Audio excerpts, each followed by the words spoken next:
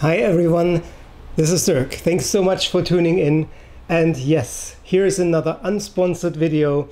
I was crazy enough to purchase 18 different micro SD cards, different manufacturers, different brands, and they all are 128 gigabyte.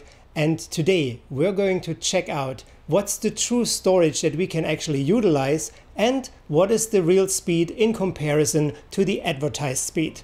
The Kioxia Exceria has the lowest speed to price ratio with 1.485. That means you get the lowest performance for the money. Place number 17 goes to the Kingston Canvas Select with a low speed to price ratio of 1.516. We're getting a writing speed of 28.48 megabyte per second. On rank 16 we have the Samsung Pro Endurance with a relatively low speed to price ratio of 1.676. Nothing wrong with this card, there are just better options out there.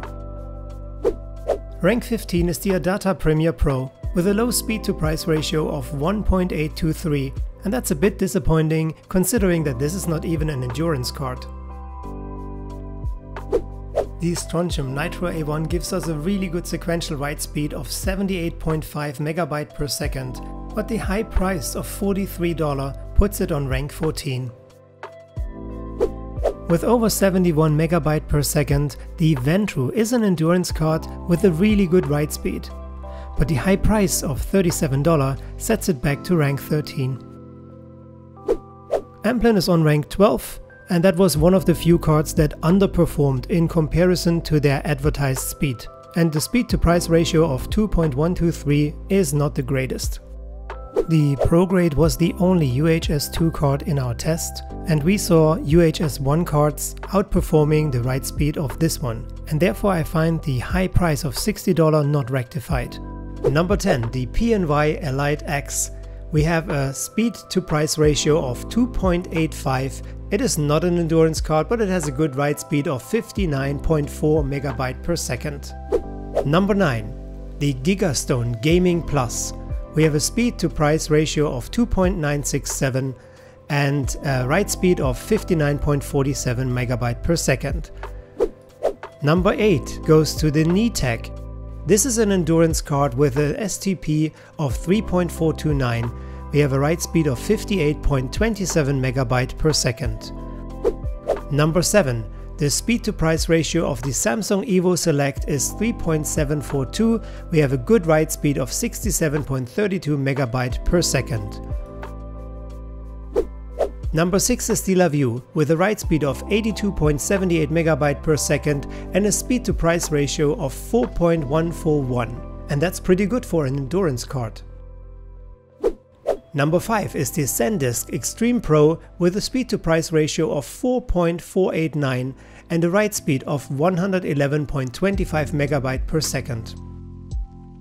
Fourth place for the Transcend High Performance that gives us even more speed for the money. We're getting 123.86 MB per second and that gives us a speed to price ratio of 4.765.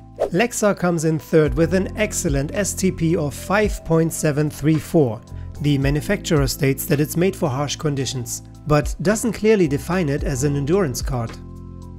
Our number 2 is the biggest surprise and officially the best bang for the buck. For only $17 we're getting a write speed of 155.83 megabyte per second from the Silicon Power, the speed to price ratio is the highest of all the cards I've tested, 9.712. And if this would be an endurance card, this would be our number one. And before I reveal our number one, I'd like to say something. Like I said, this was a not sponsored video. I bought all of them with my own money. Now, if you're in the market to purchase a microSD card and you would use one of the Amazon affiliate links in the description below, then I would make some money back and I would really appreciate this. And now, without further ado, here's the absolute best overall card. Our number one, the Kingston Canvas Go Plus. It is an endurance card, waterproof, shockproof, temperature proof and x-ray proof. It stands out with a blazing fast sequential writing speed of 156.11 megabyte per second. It is faster than the Silicon Power. And yes, it is a bit more expensive, that's why the lower STP of 6.351, but therefore all its content is protected, and that's what makes it my number one. If you'd like to see how I tested each of the cards while partially dealing with unspeakable threats, here it is. We're using the Kingston MobileLite Plus, which is still the fastest microSD card reader in the market. Our first test subject is the ProGrade UHS-2 microSD card advertised with a writing speed of 130 megabyte per second. The true usable storage of the 128 gigabyte advertised storage is 119 gigabyte and the write speed is 21 megabyte per second faster than advertised. We're getting whopping 151 megabyte per second. Now if we would divide the speed by the dollar amount this card costs, we would get 2.516 megabyte per second for every dollar spent. I had to distract a very curious Kiwi to be able to get the Gigastone Gaming Plus microSD card into my laptop. The usable storage on this card is 119 gigabyte and it is advertised with 50 megabyte per second sequential writing speed and the results are a little bit better. We're getting 59.47 megabyte per second and that gives us a speed to price ratio of 2.976 megabyte per second per dollar. The PNY Elite X 128GB microSD card provides a usable capacity of 116 GB and it performs with a sequential writing speed of 59.4 MB per second. This makes a speed to price ratio of 2.585 MB per second per dollar spent. Our next subject is the Lexar Professional that gives us a usable storage of 117 GB. The Lexar was the only card that I couldn't use right out of the box, I actually had to format it before it was readable. Once this was done, it gave us an excellent speed. The sequential writing speed was 123 MB per second. And this gives us an excellent speed to price ratio of 5.734 MB per second per dollar. So here is the ADATA or ADATA Premier Pro microSD card that gives us a usable storage of 117 GB. And instead of the promised and advertised 80 megabyte per second, we're getting only a sequential writing speed of 38 megabyte per second. And this makes a speed to price ratio of 1.823 megabyte per second per dollar. Here we have the SanDisk Extreme Pro microSD card that gives us a usable storage of 119 gigabyte. It performs better than advertised and we're getting a sequential write speed of 111 megabyte per second. Breaking it down, that gives us a speed to price ratio of 4.489 megabyte per second per dollar spent. The Transcend High Performance is a beautiful card but the usable storage is a bit disappointing. We're getting only 112 GB. But this card makes it up when it comes to speed. Although it's advertised only with 85 MB writing speed, we're getting whopping 124 MB per second sequential writing speed. And that gives us a speed to price ratio of 4.765 MB per second per dollar. Now we're testing the green Silicon Power 128GB microSD card. Kiwi is still trying to grab one of these tiny chips as her toy. Although this card gives us only 115GB usable storage, the write speed is more than impressive and I've repeated this test multiple times to verify Advertised is this card with 80 megabyte per second sequential write speed, but we're getting actually 156 megabyte sequential write speed. And to break it down, this gives us 9.172 megabyte per second for every dollar spent. Endurance cards are normally a bit slower, but therefore have other advantages, like the Samsung Pro Endurance that is waterproof, shockproof, temperature proof, X-ray proof and magnetic proof.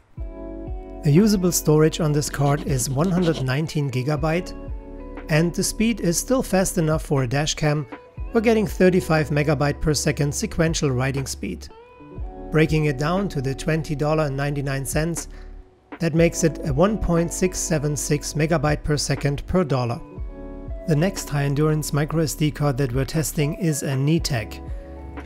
It is waterproof, temperature resistant, X-ray proof and anti-magnetic. We're getting a usable storage of 116 GB.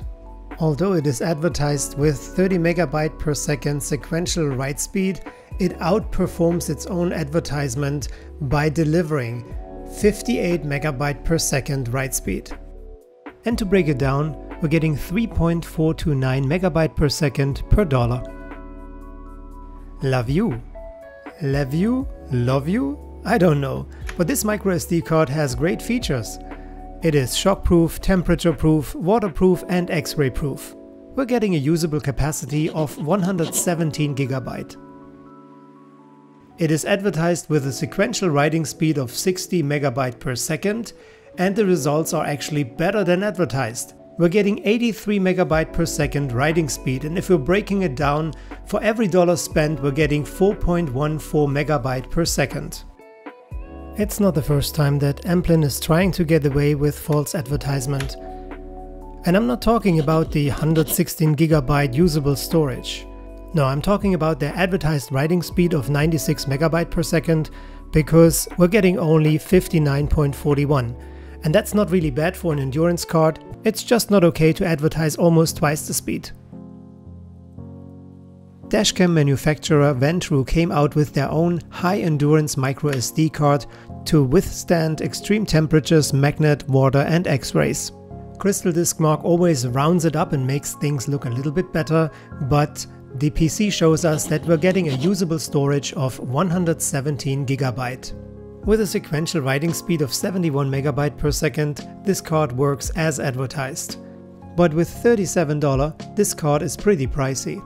And that's why our speed to price ratio is only 1.926 megabyte per second per dollar spent.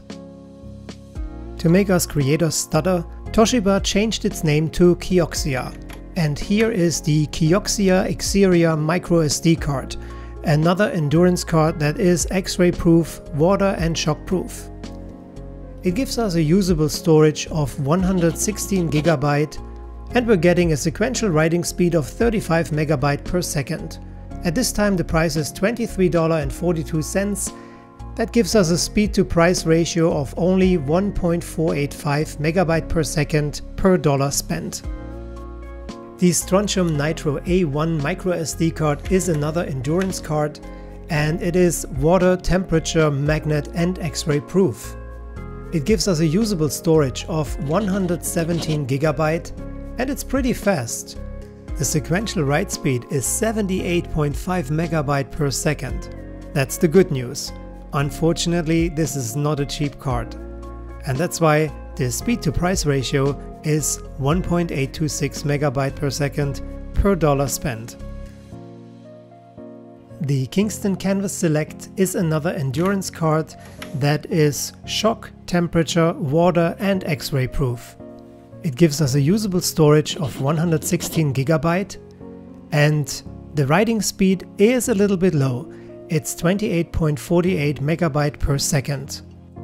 With a price of 1878 we're getting a speed to price ratio of 1.516 megabyte per second per dollar spent.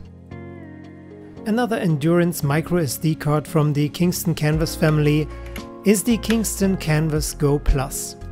It is waterproof temperature proof, shock, vibration and X-ray proof. The usable storage is 116 GB. And we're getting a blazing fast sequential writing speed of 156 MB per second. And that gives us a speed to price ratio of 6.351 MB per second per dollar spent. The new Samsung Evo Select is an endurance card that is X-ray, magnetic, temperature, and shockproof. We're getting 119 GB of usable storage and the write speed is 67 MB per second. And this is a pretty good speed to price ratio of 3.742 MB per second per dollar spent. I hope you enjoyed the video. If so, leave a thumbs up and hit the subscribe button. Thanks so much for watching this and tune in soon again. Bye for now.